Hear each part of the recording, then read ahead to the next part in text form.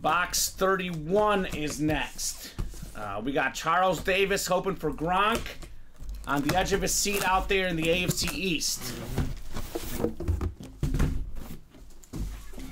Got an authentic, Alex.